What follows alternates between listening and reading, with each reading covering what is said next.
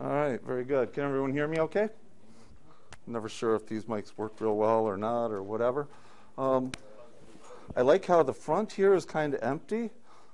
I actually do have a shiny badge. I'm a federal officer, um, and that must have scared folks. Back to the back of the room. Um, I'm Paul Chaloux. I work for USDA's Animal and Plant Health Inspection Service. We're one of the USDA's regulatory agencies. Anyone here happen to know what the largest agency in the USDA is? Forest Service by far, with 60,000 or so employees. Um, so we're small.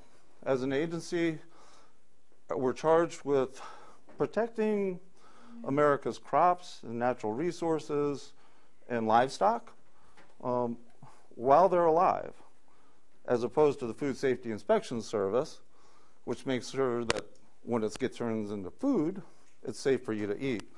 So we're protecting the health of the crop and the livestock, the herds out there. Um, so I work at agency headquarters just inside the DC Beltway.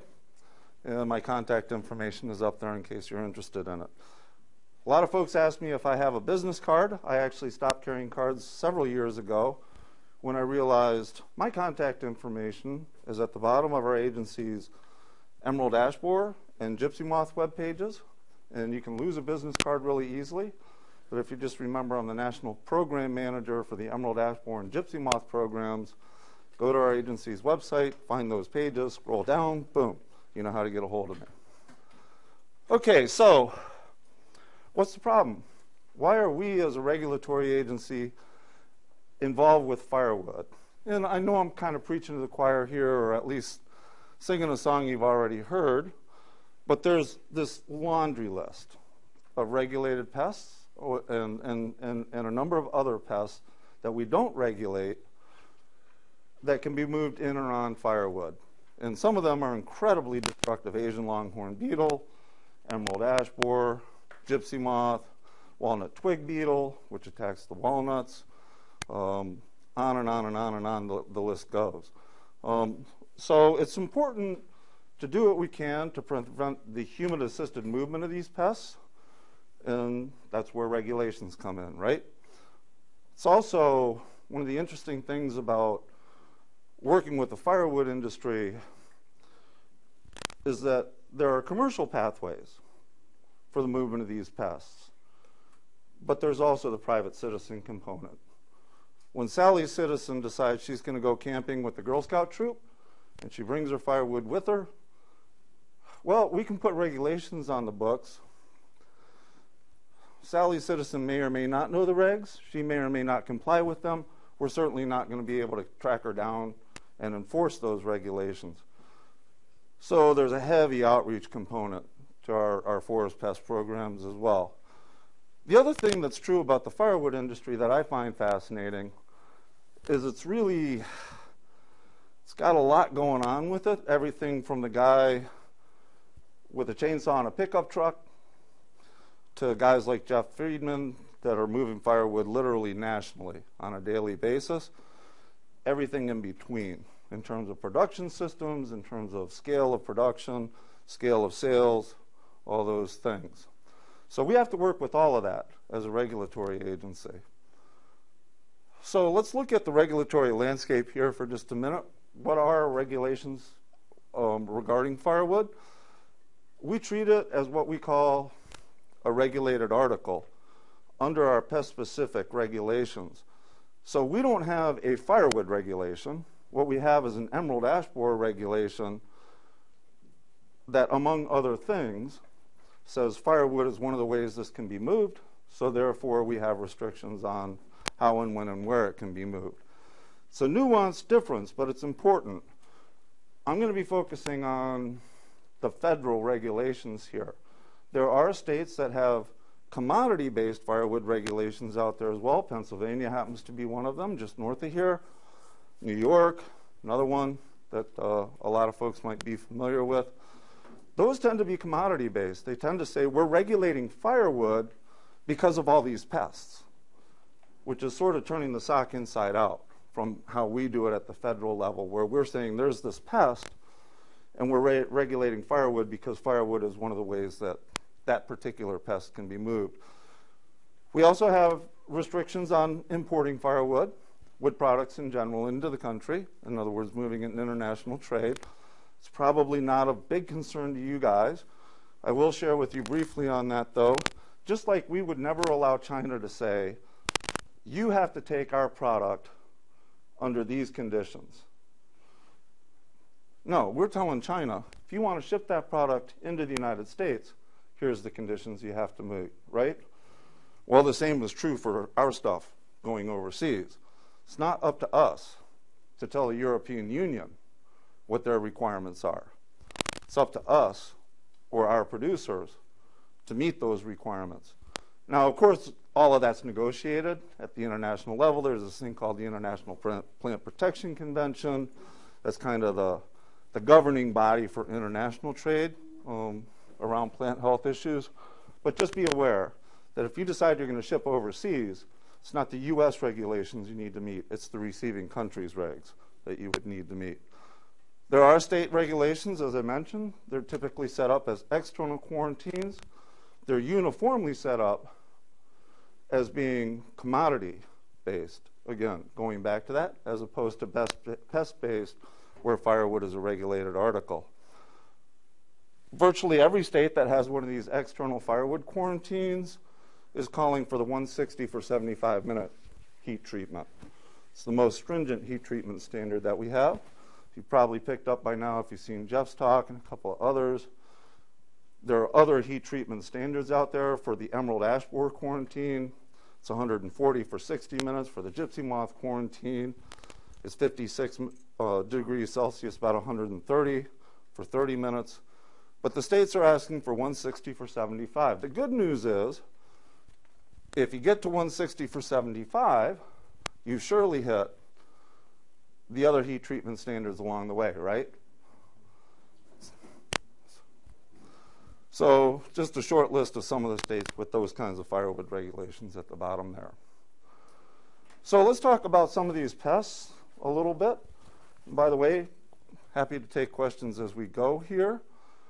Um, I'm, I'm, just going to hit on, on the big the big pests in terms of at the federal level, the ones we have regulations for. We'll look a little bit at the pest, and we'll look at what the quarantines look like for them.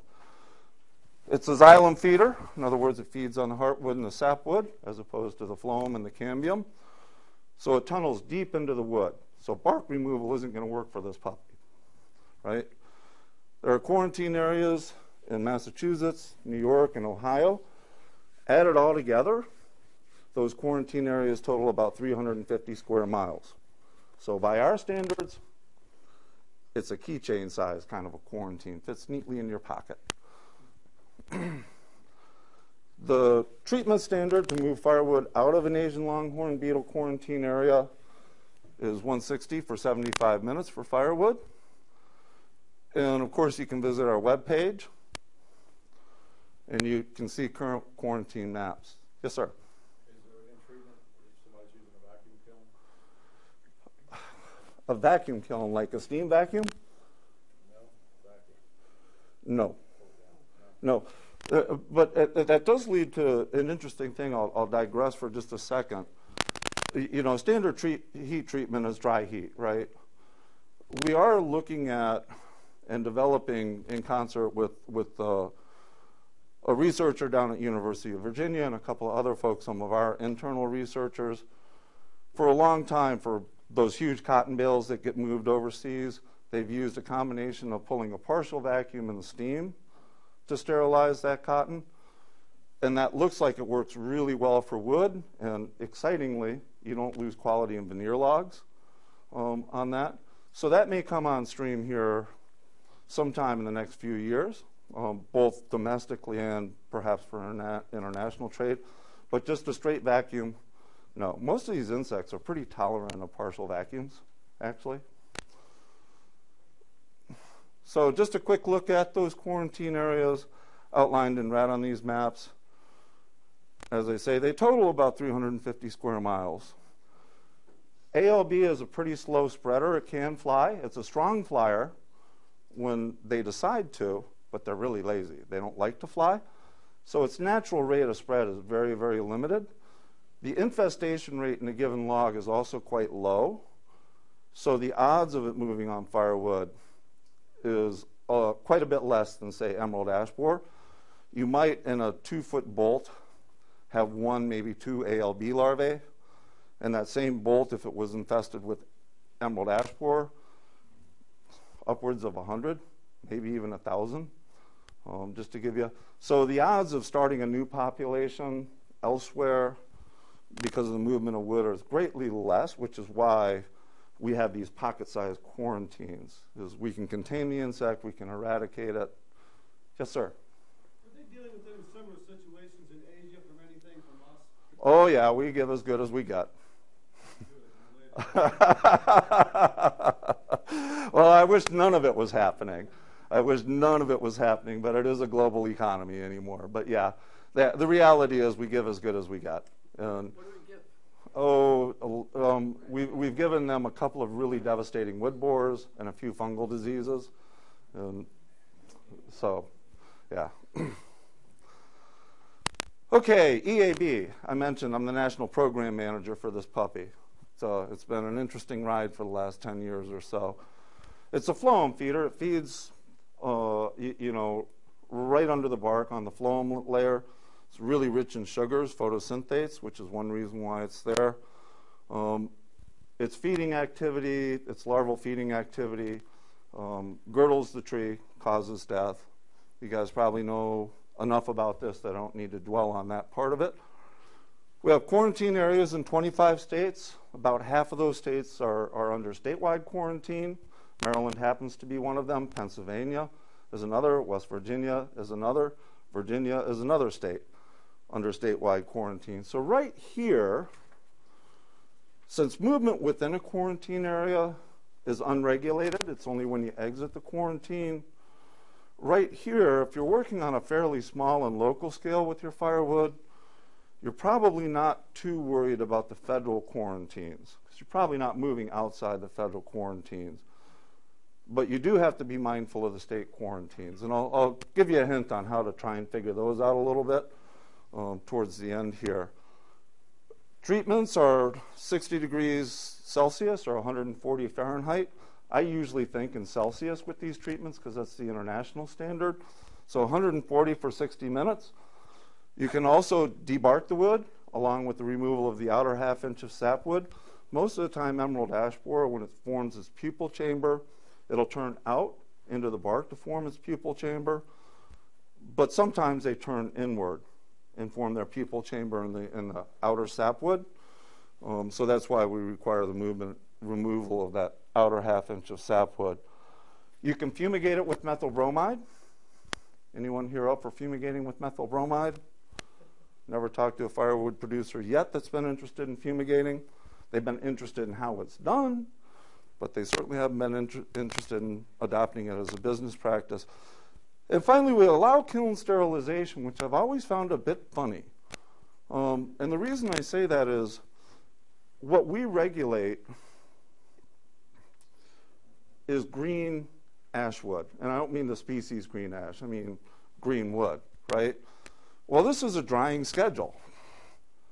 So by the time you dry it to schedule requirements, which is down around 12, 15%, it's no longer a regulated article. So uh, I've always found this one just a bit funny, but you can do it. And we have some pallet manufacturers that actually follow that schedule, and, and a couple of lumber manufacturers. So again, go to APHIS's EAB webpage for our quarantines, but I will show you what is famously known as the red dot map. Each red dot represents the initial detection in a given county. The quarantine areas are outlined, federal quarantine areas in blue. As I say, many states are entirely under federal quarantine. Some states have partial state quarantines. Minnesota and Wisconsin, Missouri, Arkansas, well, Missouri entirely, but Arkansas and Louisiana. Georgia has a partial state quarantine. we haven't found it there yet, believe it or not. And not for lack of looking. Not for lack of looking. We'll find it there someday. But thus far, we haven't found it there. Yeah, that's, that's a bit anomalous. Rhode Island also is a little kind of kind of weird, eh? Yes, sir. I noticed that West Virginia was testing for it probably three years before Maryland. How, how was it so far inland, or were they just ahead of the game? Well, actually, the, you know, we found emerald ash borer in Maryland back in 2003. EAB was first found in the United States in 2002, although we now know it was introduced probably in the early 90s, um, 10, 15 years prior to its detection. But there was a movement of infested nursery stock against the regulations out of this part of Michigan down to Prince George's County, Maryland. And so Maryland actually came on stream in 2003. West Virginia, the first detection was in late 2007. So, you know, it depends on how you want to count chickens. Um, on, on, the traps there a lot sooner. You know, they were looking for it sooner. well, they were hanging traps in places that were more visible in West Virginia, is probably a better way to put it. Um, we really didn't start using those purple traps um, for our, our national survey for emerald ash borer until 2008. I don't want to get bogged down in program history here. So they really kind of showed up everywhere all at once, like mushrooms in the landscape after a good spring rain, right? Um, those first through, through 2012, we were hanging 60,000 traps a year nationally. That sounds like a lot, but between us and the Forest Service, to give you an idea, for gypsy our gypsy moth survey, there's a total of about 200,000 traps that go out. Um, but anyway, yeah, they just kind of exploded onto the landscape. Those purple traps turned out to be one of our best outreach tools ever, ever, because they're so eye-catching. You know, folks call them the Barney trap and all kinds of stuff. So that's the quarantine, as I say. it changes pretty rapidly. Unlike the ALB quarantine and the gypsy moth quarantine, where we add a county here, a few square miles there, depending on which one from time to time. I'm adding counties to the EAB quarantine regularly, certainly on a monthly basis, and sometimes more often than that during the survey season. So keep your eye on this map. The other thing that's true with emerald ash borer, you see these red dots, like I mentioned? And I'm, I'm just going to mention this. Those are the counties that we've found emerald ash borer in. Within the quarantine area, you see a lot of counties with no red dot, don't you? So a lot of states proactively quarantine extra area, sometimes going statewide, even though they haven't found it in those counties. Sometimes that's because of known movement patterns of regulated articles. Sometimes you get donut holes and it just makes sense to plug the hole, those kinds of things. So, so do keep an eye on this map. It does change pretty regularly if you're concerned about it. Gypsy moth, everyone is familiar with, with gypsy moth, at least in name, right? Was introduced back in 1860 or so uh, up in the Boston area. The real damage is done by the caterpillar's foliage feeding. Um, multiple years of, of, defoliation will, will stress the tree enough. Gypsy moth actually rarely kills a tree in and of itself. It predisposes it to things like armillaria root rot, and that's what actually takes the trees out. But it's a good predisposer for sure. We see widespread mortality in outbreak years. We do see a boom and bust population cycle with the pest. So you go 10 years with no damage whatsoever and only seeing the occasional caterpillar or moth, and then all of a sudden it's raining frass, literally raining frass, and the trees are stripped in two or three weeks during the feeding season. And then you go back to after two or three years of that, they kind of fade into the background. We have quarantine areas. Actually, there should be 20 here. I apologize, I haven't updated it. We added two counties in Minnesota to the quarantine area about a year or so ago now. So we have quarantine areas in 20 states. Allowed treatments are 56 for 30, debarking.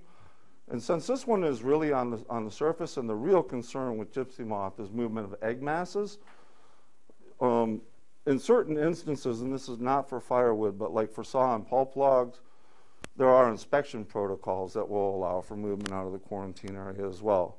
Again, we have a web page with a current quarantine map, but that's what it looks like right now. The two counties in Minnesota are up here that we just added. Those are the most recent two. I think West Virginia is getting ready to add another county down in this area uh, in the not too distant future. Again, this, this quarantine area changes relatively slowly. All right, who here has heard, of thousand cankers disease? Yeah. Okay, good. Good, good, good. We don't have federal regulations for TCD. A number of states have state level quarantines for thousand cankers disease. It's a complex that involves a, a, bark beetle. The bark beetle is literally about the size of a period at the end of a sentence. The beetles have specialized pouches called mycangia um, as part of their mouth parts, basically, where they deliberately store and transport um, a wide variety of fungi. In this case, it's a particular fungus. Um, the beetle larvae don't actually feed on the wood. They do tunnel in the wood. They don't feed on the wood. What they're feeding on is the fungus. So they grow these fungus gardens in their, their galleries under the bark. So that's why they deliberately carry it around with them, to inoculate that food source into the wood. But it causes a whole bunch of tiny little lesions, about quarter size. Those eventually cut off, again, the phloem tissues and girdle the tree and cause tree mortality. Out here, um, it's prevalent up and down the front range of the Rockies. Walnut, black walnut in particular, is not native to the front range. Um, a lot of folks don't realize the settlers brought walnut with them as they moved west. Anyone know why? Obvious answer would be the food crop, right? Wrong. Walnut trees are natural lightning rods. You go to any farmhouse that's 100 years old out in the Midwest and look 150 feet behind the house, there's either the stump of an old walnut or maybe that old walnut or progeny still there. That's why they brought them west. Along the front range, the dynamic was a little different. There's only a few types of trees that will grow there. It's so dry, 15 inches of rain a year. And so this is one of them that will actually do it. But uh, out east here, we know it's uh, in Ohio, North Carolina, Pennsylvania, Tennessee, and Virginia. Um, again, we don't have a federal quarantine. A lot of states do have external quarantines um, for thousand cankers disease. We don't have any approved treatments for firewood at this time. Uh, we're working on them. We think that the 60 for 60 treatment will work. In other words, 140 degrees for 60 minutes. But um, that's not been, you know, finalized and put on the books. So that's what uh, the quarantines look like. Red states have exterior quarantines. In other words, you can't bring walnut in, including walnut firewood. And walnut is beautiful firewood, but it's probably not the highest end use for most walnut. Um, and then there are some states in blue that have both internal and external quarantines. In other words, they have restrictions on within state movement and also restrictions on movement into the state. Okay, so I promised to tell you guys how to figure out what state has what going in the way of these state level quarantines. If you go to don'tmovefirewood.org, it's a website that is run basically by the Nature Conservancy. Um, we actually fund um, a significant portion of, of, maintaining this website in the Don't Move Firewood campaign. Um, but if you dig around a little bit, on the Don't Move Firewood um, website, and it's don'tmovefirewood.org, you'll find this firewood matrix.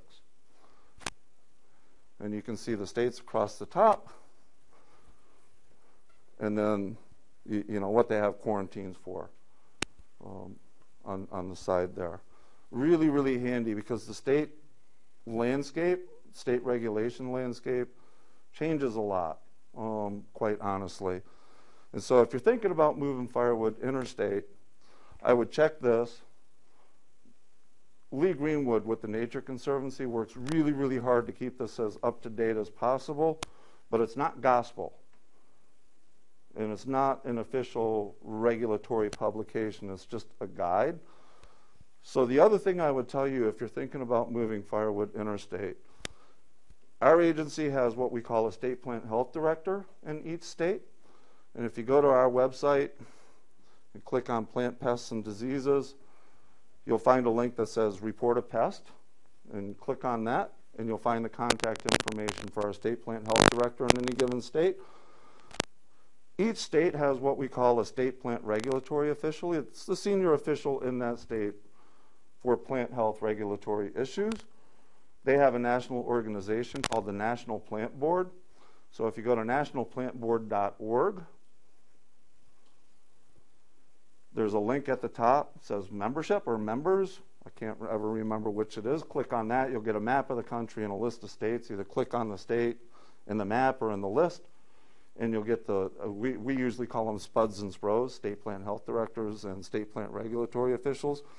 So you'll get the contact information for the SPRO for that state. Please make that phone call.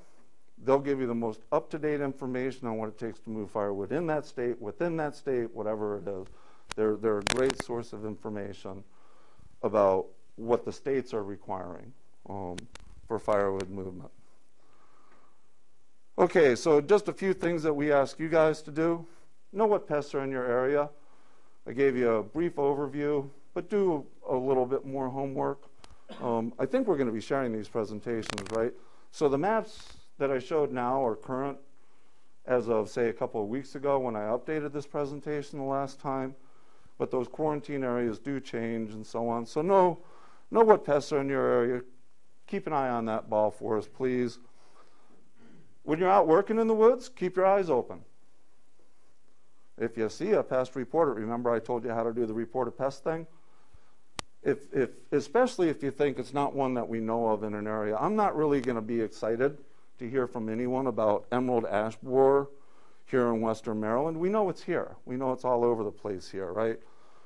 But if you call me up from Idaho and tell me you found emerald ash borer, I'm going to be running down the hall with my hair on fire, getting things going to take care of the problem, right? Looking into it, making sure that it either is or isn't a real report, that kind of thing. Not that, not that we don't want folks calling in when I say real report. What I'm really saying there is we're going to go out, send a crew out, try and see if they can collect specimens, get them identified. There are legal processes to identifying these regulatory pests and confirming, up, that's really it, so we really do need to regulate.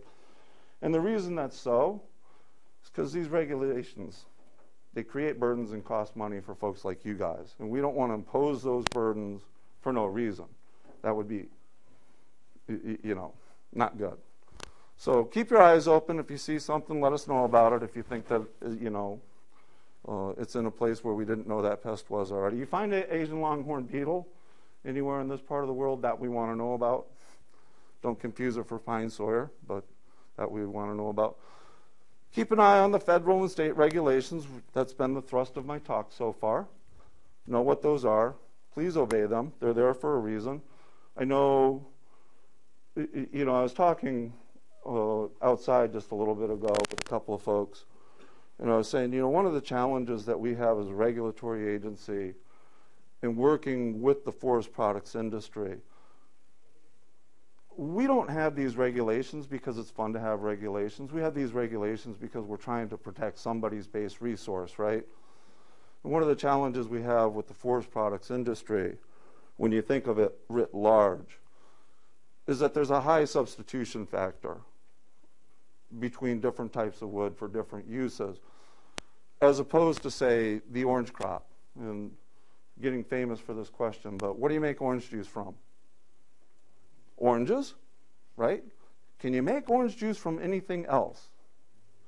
No, if you made it from apples, it'd be apple juice, right?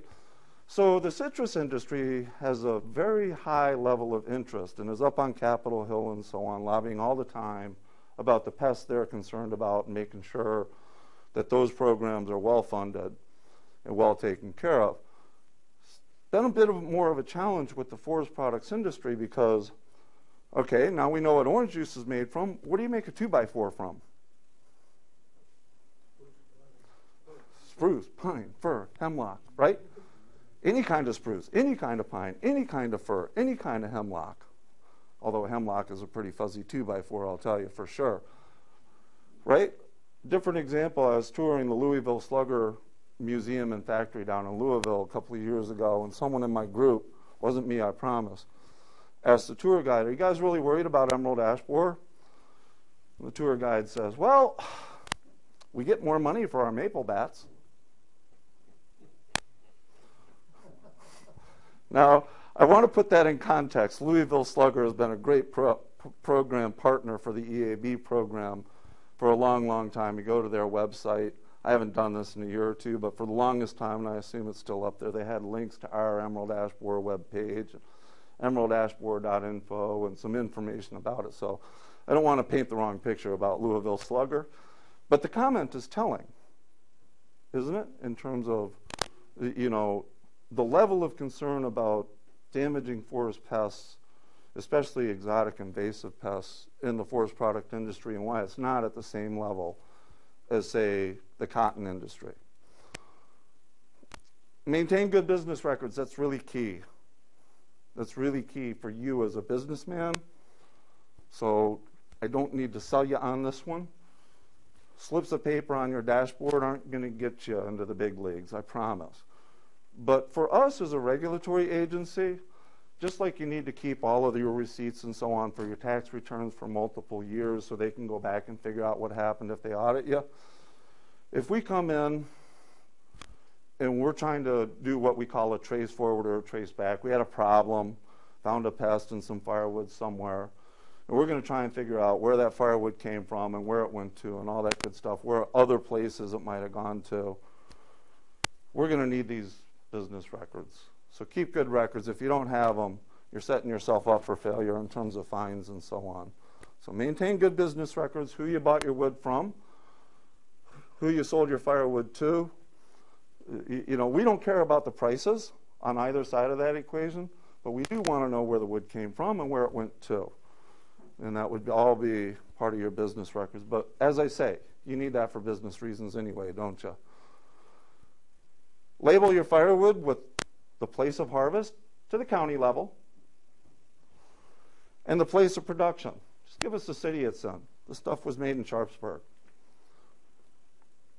We understand there are good, compelling business reasons not to put the exact address of your production facility on your label, starting with it takes up label space, which is incredibly valuable, and also going to things like competition and so on.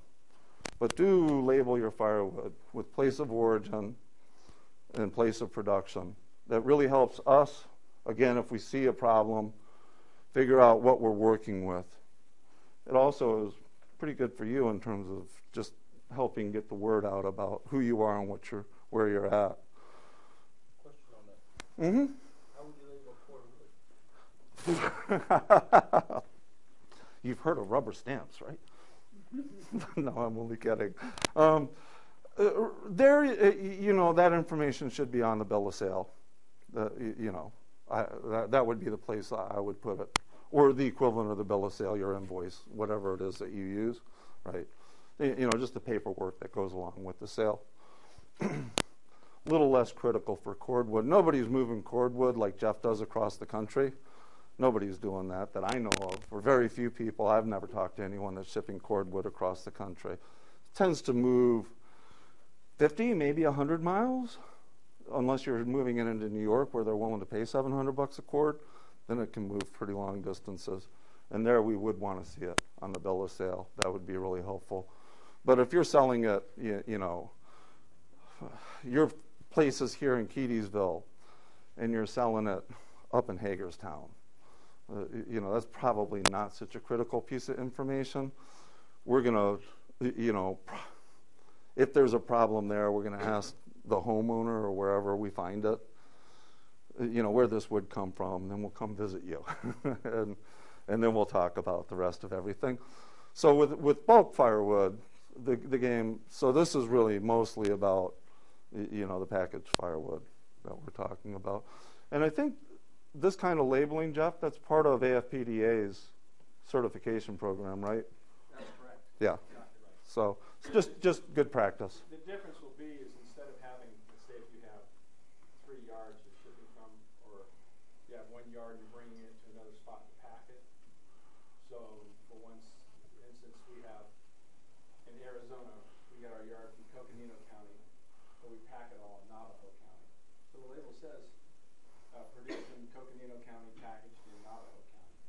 But with the new labeling, what we would hope to have is one label that has a number on it. Any inspector, anybody anywhere can look and find that guy and know where it got packaged. Yep.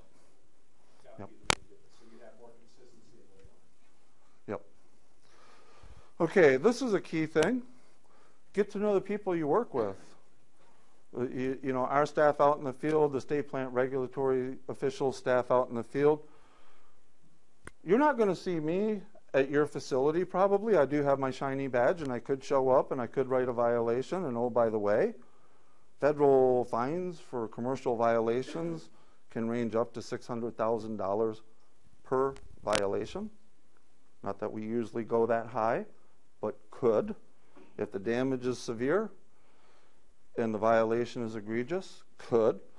Typical fines are in the thousands to ten thousands of dollars range, but that's still a big bite out of your profit if you end up with a violation, right? But get to know the regulatory personnel, our, our officers out in the field, the guy who comes out to visit your facility, enter into a compliance agreement with you, those kinds of things. Get to know them, get, make sure you know their contact information, establish a relationship with them. This is a people business, just like anything else, and knowing who you're working with helps an awful lot in making things work better, right? I've talked about our state plant health directors and I've talked about our state plant regulatory officials, so I won't go too far much further down that road. So, with that, I'll thank you for listening to me and I'll listen to your questions and answer them as best as I can. Yes, sir. There's bark removed from ash trees. Uh, is that regulated on where that goes? Oh, yeah.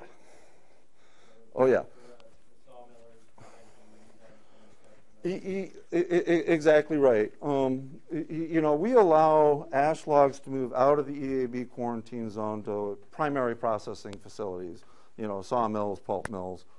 Um, during the winter months, those logs have to be processed before what we call adult flight season begins. In other words, onset of spring and the adults emerging from the wood and flying around. And uh, any waste, you know, slab wood, bark, has to be properly disposed of again before adult flight season. Of course, adult flight season is shorter in the northern states and longer, starts earlier and ends later in the southernmost states. The very southernmost states, even though we haven't found EAB there yet, we figure EAB could emerge all year long from the research that we've done. So there is no adult flight season. So if you're a sawmill in Florida, you can't get ash logs out of the quarantine zone any time of the year. Um, but up here, uh, it's May 1st through October 30th, I believe. Um, so, great question. Other questions? Yes, sir. Are you concerned about stuff moving around inside the quarantine zone or just outside? That's that's that's a, a tremendous question. Um, that's the devil's choice with quarantines, and this is something that when a state is thinking about, you know, particularly going to a statewide quarantine, you know, we found emerald ash borer, say half the counties, and now they're thinking about, you know, sometimes we call it tossing in the towel, but going to a statewide quarantine. One of the things we always make sure that they have an awareness of, and, and again, it's kind of singing to the choir. The state plant regulatory officials are as aware of this stuff as we are, but you know, you got to do due diligence. It's one of the things we always tell them is, you know, if you do that, you're facilitating the spread of the pest within that larger quarantine area. And we've seen that happen again and again and again. I don't know how far back I have to go. Uh, looking for EAB quarantine. There it is. All right, so we found EAB, as I mentioned earlier, in West Virginia, fall of 2007. October something, 2007, right? It's under statewide quarantine. Look at all of these red dots here, right? Pretty widespread across the entire state. West Virginia was one of the first states to go to a statewide quarantine. I believe it was back in 2010, maybe 2011. Compare that with Wisconsin. A little bit larger of a state, sure, I'll grant you that. And sure, they've done some proactive quarantining here and there. I'll grant you that as well. We found EAB for the first time in Wisconsin in the spring of 2008, just a few months later. And look how much le- less widespread it is within that state. I would argue that that statewide quarantine is part of why it's so widespread in West Virginia, not so widespread yet in Wisconsin. Minnesota is another great example. 2009, so another year after that, really vigorous at the state level in, in enforcing their quarantine. Really, really active with that. And look what they have going on. So the quarantines work. They absolutely work. Um, but once you go to a, a large area quarantine, within that quarantine area, it really does facilitate the, the smearing around of the pest. I saw another hand. I'm sorry. I I was gonna comment on West Virginia, just thinking about the, the location and the makeup of the forest industry in West Virginia. If you isolated any of those folks, you basically put them out of business.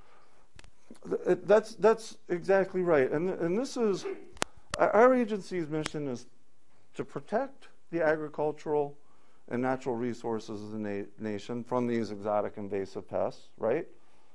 But there's another piece to it. And Congress did this very deliberately when they created our agency. We're also charged with facilitating trade. Why did they do that? Because those are two opposite things, right? It would be really easy to protect the resource by just putting draconian regulations in place, right? Conversely, it'd be really easy to facilitate trade. Do none of this. Trade goes on with no burden whatsoever, at least from this end of things, right?